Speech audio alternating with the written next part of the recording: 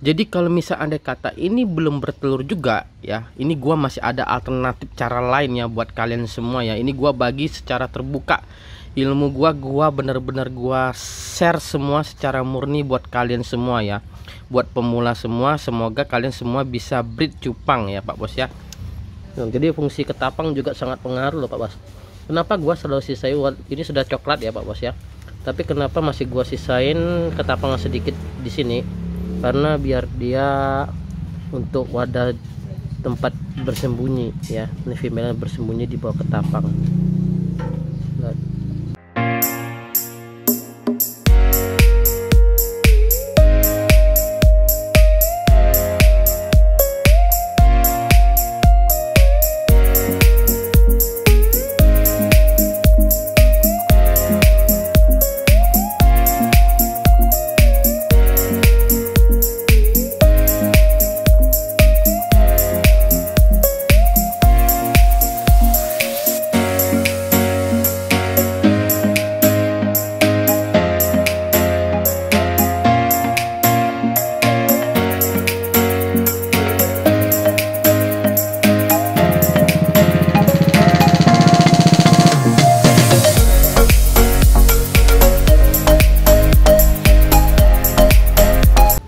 Oke sahabat Amsyong Assalamualaikum warahmatullahi wabarakatuh. Kembali lagi ke channel gua Libeta ya pak bosku ya. Halo sahabat Amsyong semua. Oke bosku kita lanjutkan lagi videonya. Ini Udah masuk 8 bulan 9 ya. Ini kita pagi ya. Kita lihat pagi posisinya udah bertelur atau belum. Kalau belum kita tes kita cek pemberian makan ya. Ini kita mau memberikan makan Tuh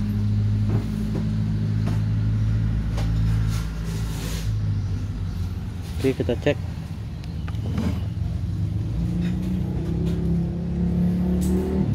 Kelihatan pelurnya sudah agak kecil.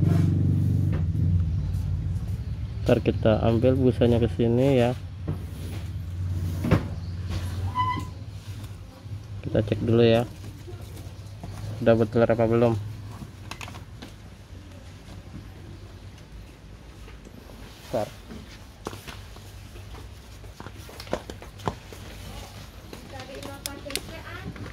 Hmm, sorry agak berisik karena ini suasana masih di toko kalau keadaan pagi ya Pak Bos. Belum, belum bertelur Pak Bos.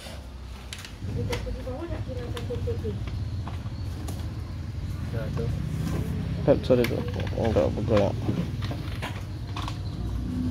Kalau udah proses gini kita harus memberikan makan ya Pak Bos ya. Kita berikan makan nih. Kita kasih makan ya. Tuh, dia mau makan kan kalau dia mau makan kita kasih makan. Tapi kalau nggak mau makan udah kita langsung tutup nggak usah dikasih makan.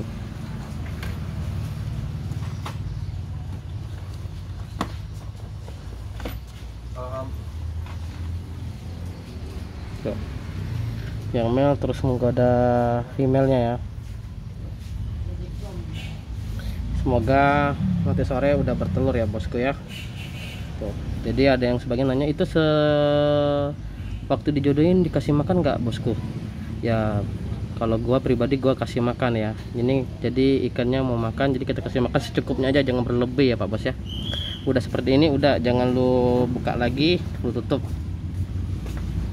Tutup. Oke udah tutup. Sudah selesai? Oke kita matikan lampunya. Oke bosku Semoga nanti sore persalinannya berjalan dengan lancar ya. Mohon supportnya ya. Oke, sahabat Amsyong, kita lanjut lagi videonya. Sahabat Amsyong, sebelumnya saya benar-benar minta maaf karena saya nggak bisa update video tanggal 8 sore tang sama tanggal 9 pagi ya Pak Bos ya karena gua sibuk. Jadi nggak gua update. Ini gua langsung update tanggal 9 sore ya, tanggal 9 sore ya Pak Bos ya jadi ini kita mau update keadaan satu pair yang pernah kita jodohin terus kita gabungi. Ya kita melihat keadaannya sekarang seperti apa ya Pak Bos? Berhasil apa enggak? Ini dari tanggal 7 kita gabungi. Ini sudah tanggal 9 ya. Sudah dua hari ini belum bertelur juga ya. Jadi kalau misal anda kata ini belum bertelur juga ya ini gua masih ada alternatif cara lain ya buat kalian semua ya. Ini gua bagi secara terbuka ilmu gua gua bener-bener gua share semua secara murni buat kalian semua ya. Buat pemula semua semoga kalian semua bisa breed cupang ya Pak Bos ya. Uh, biar cupang Indonesia semakin maju ya. Yang penting lu ikutin video gua dari awal sampai akhir biar lu nggak gagal fokus ya Pak Bos ya. Biar lu paham ya. Oke? Ini gua mau lihat. Ya Bismillahirrahmanirrahim. Semoga udah betul ya. Ini dari tadi pagi gua kasih makan sampai sekarang ini baru gua buka. Nah itu kuncinya sukses lu harus gini Pak Bos jangan sering diintip-intip ya. Nanti mata lebih titan ansiang. Ya jadi kita angkat kita cek dulu nih udah bertelur apa belum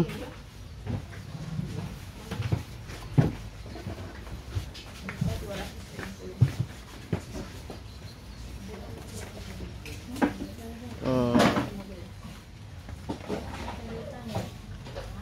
Oke, uh, ini female ke mana ya Pak Bos? Ya, kita cek dulu Pak Bos ya. Kita cek female Mobilnya nyumput di bawah busa sini Pak Bos. Ntar ya, gua center dulu ini.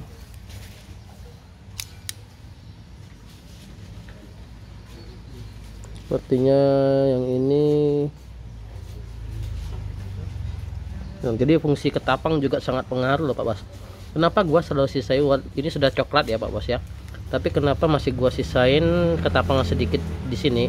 Karena biar dia untuk wadah tempat bersembunyi ya. Ini female bersembunyi di bawah ketapang. Ini mungkin karena female kemarin udah buang telur. Jadinya eh, nggak uh, maksimal hasilnya pak bos. Tapi dari kelihatan femalenya udah kecil telurnya pak bos. Tapi telurnya belum ada ya.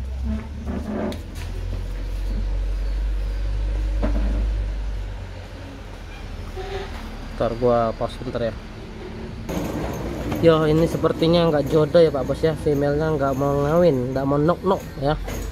Nah ini kemungkinan kita ganti femalenya ya. Kita langsung ganti. Kalau udah proses gini biasanya kita langsung ganti femalenya semoga kita ganti dengan female yang lain. Besok udah bertelur ya Pak Bos. Sebentar supaya gua ganti. Oke bosku. Ini calon female penggantinya ya. Kita gantikan female yang lain nih. Dengan female pilihan gua juga nih. Ini formnya cakep bener. Sorry agak berisik. Ini lagi beres-beres toko pak bos. Tuh, ini kita ganti female yang lainnya. Semoga besok mau ngawin dia ya. Tuh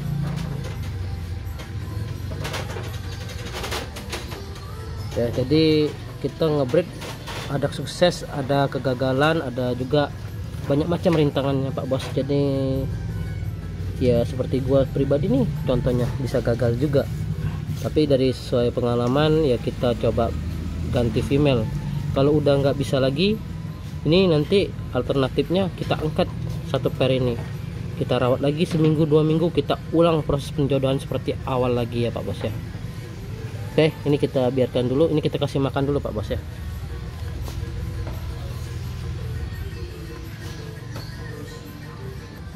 Oke ini kita sedang ngambil nih incuknya Pak Bos ya. Nih lihat. Jadi setelah proses penjodohan gue kasih makan incuk nih. Nih. Tuh dan tadi langsung makan kan? Jadi kalau langsung makan kita kasihnya aman Pak Bos. Oke sudah proses gini kita kasih makan secukupnya langsung kita tutup Pak Bos. Ya kita langsung kita tutup gak usah banyak-banyak cerita kita langsung tutup. Semoga besok dia berhasil ya.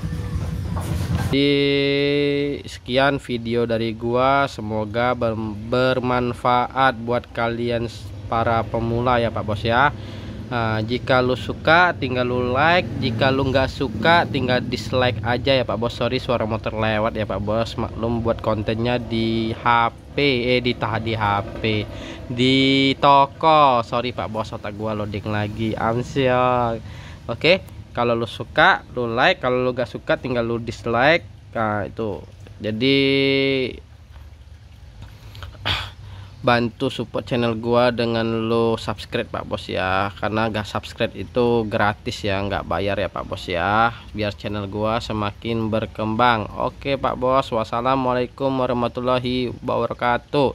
Salam ek ek ek amsyong bosku